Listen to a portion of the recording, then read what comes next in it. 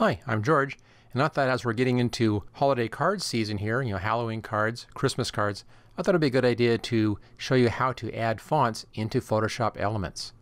Now, if you like this video, make sure you hit that like button, click on share, click on subscribe, hit that bell icon for notifications of my new videos, check out my channel for hundreds more Photoshop Elements videos, and take a look at my complete training course for Photoshop Elements, and there's a link for that right down there in the description. When you're designing a new holiday themed project, you're probably going to be using text in that project and you'll need to find those fonts for your text and you also want to add those fonts into Photoshop Elements. Now it's actually a very easy process to do. The trickiest part is just deciding on what you want to use in your project. Now, of course, that's going to depend upon all the other imagery you have in here, whatever it happens to be, to match the feel and the style of that. But you also want to have a nice place to go and find fonts for free and then download those into your system. Let me show you where I like to go when I'm looking for new fonts for my Photoshop Elements projects. Here we go. I usually go to this site. It's called dafont.com and all of the fonts on this site are free. Whether or not you can use those for commercial purposes, you need to look over here on the right hand side. So free for personal use, that's fine. So if you're making you know cards for your family and friends, no problem at all for that. If you're looking for a font to use for commercial use, then make sure you look over here on the right hand side and some of these will say that it's free for commercial use or all rights included, things like that. So make sure you check that out if you want to be using it for commercial purposes. But all these fonts are free for personal use. Now to find a font, you first need to decide what it is you want to do. Let's say I wanted to find a font for a Halloween card. I want to have something kind of Halloweeny, kind of spooky, whatever. I'll start over here on the left hand side where it says fancy. These are all the different categories that these fonts fall into. Lots of different categories in here. Left hand side over here is cartoon, comic, and down here we have some eroded, distorted, destroy, horror. Here's fire and ice. Let's take a look at eroded right there. And some things in here that could be interesting, like this one, could be interesting for a Halloween card. So you have some possible options down in here. Maybe the distorted might give you some better options as well. It's kind of a good one, that Dr. Glitch. That'd be good for a Halloween card, so pretty easy to find those. Let's say we're talking about doing a card for Christmas time, a Christmas card. So we'll just go over here a little bit. Now you'll find that a lot of the fonts here in the Gothic section, the medieval and Celtic, both of those tend to work out very well for Christmas card type cards. You know, Viking, Celtic Garamond, there's a few in here that look very nice on a more traditional style Christmas card. So that's your more traditional stuff, your, your more standard. Even though these are very fancy typefaces, they're still a bit more traditional. Now, if you want to have something a bit modern, more lively, more interesting, then way over here on the right-hand side, there's a whole section here called Holiday, and they tend to be themed for these holidays. There's Valentine's Day, Easter, Halloween, Christmas. Let's take a look at Halloween and see what this comes up. There we go, Scary Halloween. We actually did a project like this a few years ago where I took a regular typeface and distorted it for the drippy effect. And here it is already done. Same thing right down here. So a lot of good possibilities in here. And the kind of a messy one right there. So great options here to choose from. Now these kind of fonts are, these are called dingbat fonts. And each one of these is a different letter of the alphabet. You just type in that letter and you get a graphic. Great way to quickly bring in some easy imagery into your projects using those dingbat fonts. We'll look at that in just a second. To click Christmas over here, and here we go, here's some Christmas fonts.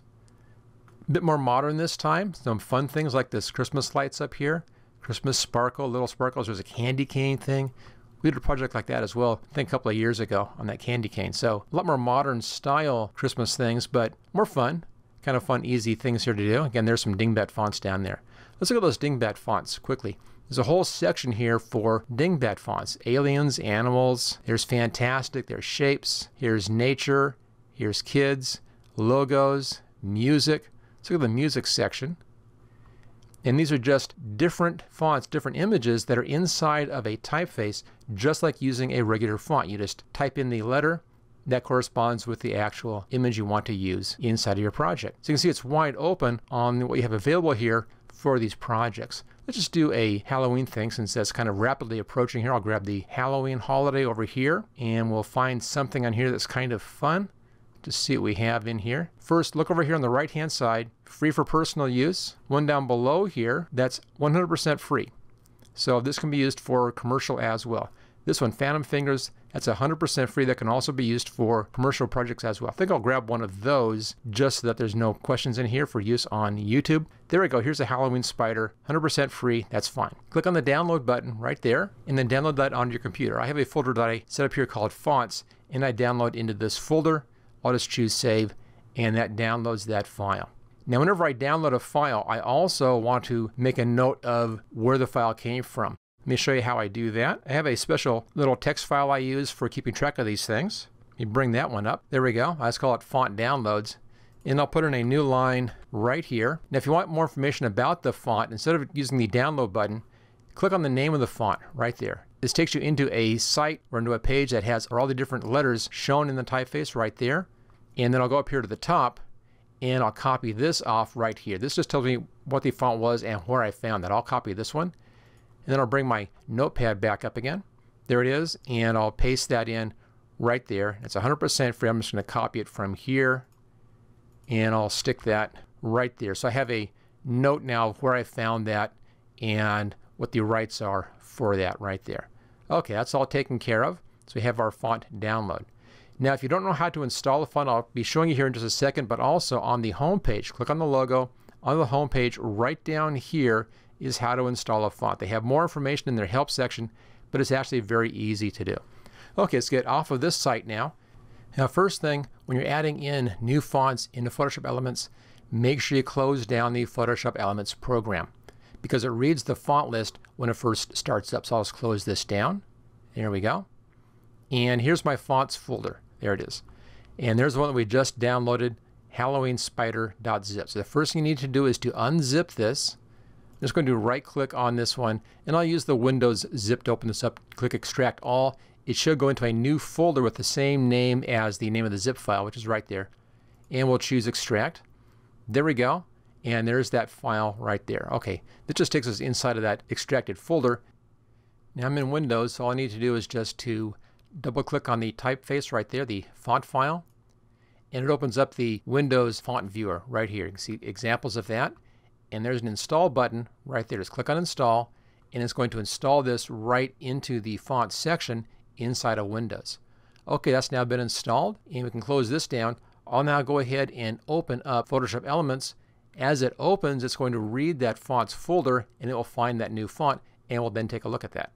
Okay, we're back inside of Photoshop Elements. I'm just going to select this typeface right there. Click this Halloween text and then come down to the type line. Now, if you know the name of your font, just select this like that and begin typing. This one is called Hall 1, so I'll just do an H-A-L, and there it is, Halloween Spider, and there's the sample. So it finds it for you very easily just by beginning to type in the name, it will then find that for you. And there we go, there is that typeface. Of course, the coloration was added into my other lettering with this layer right here. I also have a drop shadow on that, which doesn't work out that well here. Let me just get rid of that drop shadow. There it is. And bring our colors back in. So there it is. That's how easy it is to add fonts into Photoshop Elements. It's simply a matter of finding the one you want, downloading it, double click on it to open it up in the Windows Font Viewer, and click on the Install button, and then relaunch Photoshop Elements. And you'll then find that in your font list. Let me take a fast look here again. So there we are. There's the H's, and if I scroll up a little bit, there it is right inside of that font list. Now, if you like this video, make sure you hit that like button, click on share, and subscribe. Check out my channel for hundreds more Photoshop Elements videos and make sure you take a look at my complete training course. It's the best way to learn how to use Photoshop Elements and the link for that is right down there in the description. All right, and I'll see you next time.